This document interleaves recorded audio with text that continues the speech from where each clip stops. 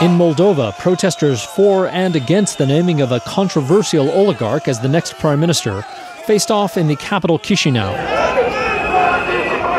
The civic movement known as Dignity and Truth organized a protest against the appointment of businessman Vlad Plahotniuc and called for new elections. Nearby, his supporters staged a counter demonstration. But later on January 13th, Moldovan President Nicolae Timofti refused to name Plahotniuc, saying he did not meet his criteria for integrity. The former government was ousted amid corruption allegations in October. And Moldova has been in political turmoil since $1.5 billion disappeared from three banks in 2014.